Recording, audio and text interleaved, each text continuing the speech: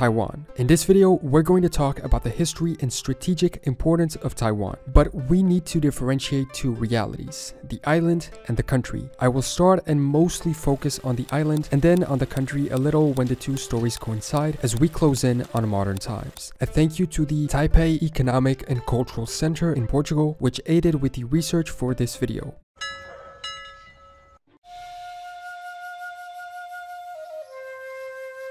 The island of Taiwan dates back tens of thousands of years when the ancient Taiwanese indigenous people settled there in around 3000 BC. That is over 5000 years ago. Not much is known about these people and their initial times, but they remain on the island until today despite only making up around 3% of the current population, but still numbering around 570,000 people. And it's interesting because their origin is not only Asian, but also Austronesian. In fact, it is the opinion of many that Taiwan is the origin point of the Austronesian expansion through the Pacific Ocean, whose descendant groups today include ethnic groups in the Philippines, Micronesia, Indonesia, Malaysia, Brunei, East Timor, Madagascar, and Polynesia. Most historical linguists also consider Taiwan to be the original homeland of the Austronesian language family, so we can understand that this island of 36,000 square kilometers holds great importance from a very early stage in human history history. Its location is key. It is off the coast of China, reasonably near Japan, Korea,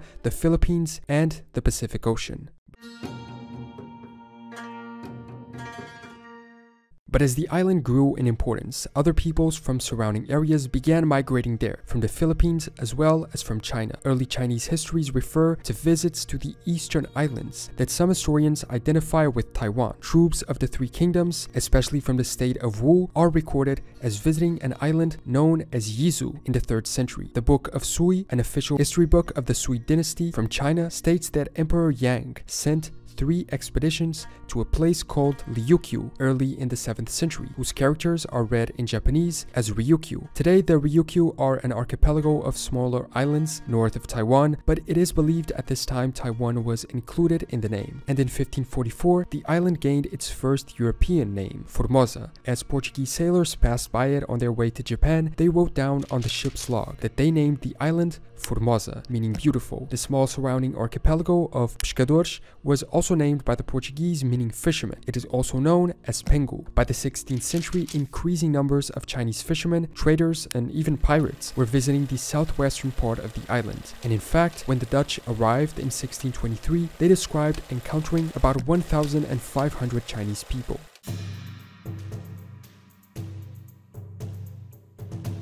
The Dutch were eager to build their colonial empire at this time, and after being defeated by the Portuguese in Macau, they needed a place to build a trade and military base in Asia. They decided to build it in what is now the city of Tainan on the southwest coast. Local aboriginals called the area Pakan, and on some old maps, the island of Taiwan is named Pakan, continuing to demonstrate the various names the island has had throughout history, and also the importance it always had, being viewed as a key strategic center for East Asia. The Spanish viewed this base as a threat to their domain over the Philippines, and so they also established a fort on the northeast coast in what is now Keelung, and another Fort Santo Domingo in what is now Tamsui. But Spanish presence did not last long, and they ended up leaving. Without competition, the Dutch set out to turn Taiwan into a Dutch colony, subduing many local tribes. The Dutch East India Trading Company administered the island and its predominantly Aboriginal population until 1662, setting up a tax system, schools to teach Roman Romanized script of the Aboriginal languages and attempting to convert locals to Christianity. And these Dutch systems were often adopted by succeeding occupiers. With the rise of the Qing dynasty in the early 17th century, the Dutch East India Company cut their ties with the existing Ming dynasty and allied with the Qing instead, in exchange for the right to access their trade and shipping routes. But their gamble didn't pay off. In 1662, Fort Zeelandia was sieged by Koxinga, a Ming dynasty loyalist, who after defeating them, dismantled the Dutch colony, expelled them from the island, and established the kingdom of Tungning, loyal to the Chinese Ming. Interesting to see that this early on, the island was already the subject of dispute between two opposing sides, attempting to rule China, a forecast of what was to happen in the future.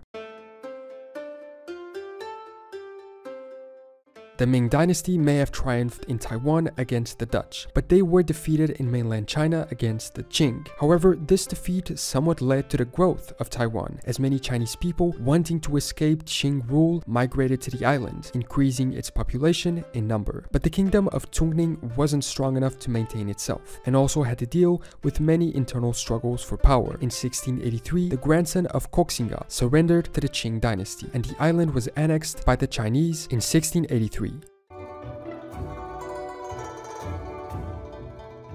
But oddly, at this point, it seemed the Chinese did not want to rule the island. Their only purpose in the war against Tungning was to defeat the ruling dynasty, which was loyal to their former enemies, the Ming dynasty. The emperor at the time is said to have declared that Taiwan is the size of a pellet. Taking it is no gain, not taking it is no loss. And his ministers advised him to relocate all of the Chinese population back to the mainland and abandon the island. Meanwhile, others, including a sea admiral, Shi Lang, tried to convince the emperor not to abandon Taiwan due to its strategic importance, especially from a naval point of view. In the end, a compromise seems to have been reached. The island remained under the control of the Chinese Empire, but most of the Chinese people left. By 1682, there were only 7,000 Chinese left on Taiwan as they had married with native women and had property on the island. From 1683 to around 1760, the Qing government also limited immigration to Taiwan, but after the end of this policy, the number of Chinese people grew a lot, and by 1811, there were more than 2 million Chinese Chinese immigrants on Taiwan. In 1875, the Taipei Prefecture was established under the jurisdiction of the Fujian province. Given the strategic and commercial value of Taiwan, there were British suggestions in 1840 and 1841 to seize the island, which again demonstrated the large importance of the island. And during the Sino-French War, the French also attempted an invasion of Taiwan in 1884. Portuguese, Spanish,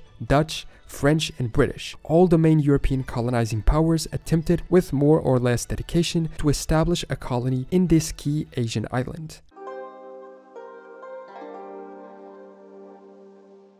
After these attempted takeovers by Europe, which the Chinese were able to fend off, came the Japanese threat, which also began seeking to expand their rule outside their native land. The issue first began over the Ryukyu Islands, the small archipelago north of Taiwan. The Japanese claimed ownership over them, and while China initially contested it, they eventually accepted Japanese rule, although making it clear that Taiwan was not to be included in this recognition. The Japanese nevertheless launched an expedition to Mutan village with a force of 36 600 soldiers in 1874, then eventually retreating after the Qing dynasty paid them. And this incident caused the Chinese to rethink the importance of Taiwan in their maritime defense strategy. At this point, about 45% of the island was administered under direct Qing rule, while the remaining was lightly populated by natives. The population was of around 2.5 million, 2.3 being Han Chinese, and the remaining 200,000 from indigenous tribes. Right after, in 1894, the first Sino-Japanese War broke out over disputes over the control of another region, Korea. The Japanese had victory after victory throughout six months, and so in 1895, the Qing sued for peace, with Taiwan being given to Japan as a part of the peace deal through the Treaty of Shimonoseki. From this point, for about half a century, Taiwan was under Japanese rule, being known to them as Takasago Koku, another of the many names of the island. The change of possession of Taiwan from China to Japan saw the shifting of Asian dominance from one to the other. Now, obviously, this wasn't the only reason of it, and the ownership of the island was a consequence of it, but it reinforced it as well, again demonstrating the strategic importance of Taiwan both from an economic and also a military point of view. The transfer of Taiwan from Imperial China to Imperial Japan resulted of a peace deal in 1895, but this peace didn't last long. Soon after, in 1937, another conflict began between the two nations, with China now being a republic after the Xinhai Revolution of 1911, which put an end to the Qing dynasty and the Chinese Empire. The conflict with Japan would eventually be incorporated into a much larger one, World War II. This led to a quick and heavy industrialization of the island by Japan to fill their military needs, and by 19 1939, industrial production had exceeded agricultural production in Taiwan. At the same time, the Kominka in imperialization project was put underway to instill the Japanese spirit in Taiwanese residents. Throughout the war, from 1937 to 45, over 205,000 Taiwan residents were drafted into the military of the Japanese Empire. 15% of them died. The Imperial Japanese Navy also operated heavily out of Taiwan, again demonstrating its strategic importance, with the entering of the US in the war became one of the objectives of the Chinese Republic. In fact, in the Cairo Declaration of 1943, the Allied powers declared the return of Taiwan to the Republic of China as one of several Allied demands. And with Japanese defeat in 1945, this happened. On October 25th of 1945, the Republic of China proclaimed Taiwan Retrocession Day, the day Japanese troops surrendered and returned to ROC sovereignty. At that moment, around 300,000 Japanese lived on the island in addition to the Chinese and the natives. But throughout the following year, China repatriated almost all of them back to Japan. Soon after, the Chinese internal conflict on the mainland set the ruling Republic of China regime against Mao Zedong's forces. The latter took control of the mainland and the ROC regime moved to Taiwan. In 1945, 1949, along with the government and the remnants of the army, about 2 million people moved from the mainland to Taiwan.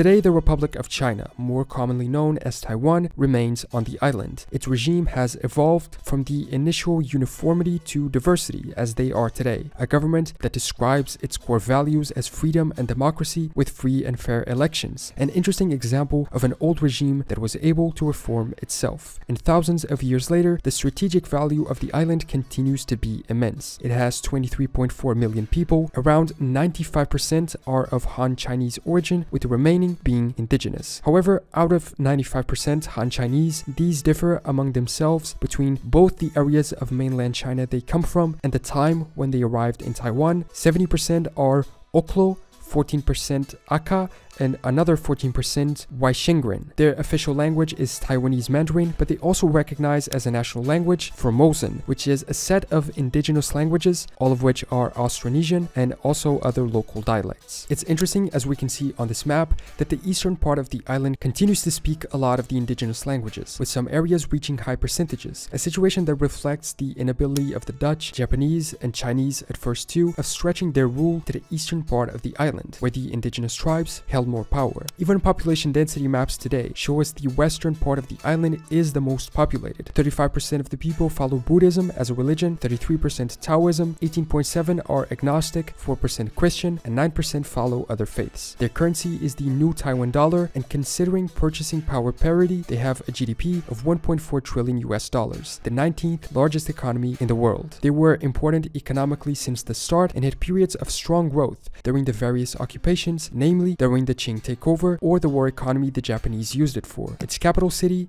is Taipei. So, that is a brief history of the island of Taiwan, its origins and native people, the key importance it had initially in the Austronesian language and culture, as well as its expansion throughout the Pacific, the arrival of the Chinese, but also of the European powers, who seeked to colonize it and take advantage of its strategic position for the conquest of Eastern Asia, how it came under the control of Imperial China, then Imperial Japan, and then being returned to the Republic of China, evolving through great changes into what it is today, an island of great strategic importance, socially, linguistically, economically, and militarily as well. Thanks so much for watching this video. Subscribe if you want, leave a comment below with your opinions and thoughts. Are there any other interesting facts or pieces of information about Taiwan and its history? Let me know. I will see you next time for more general knowledge.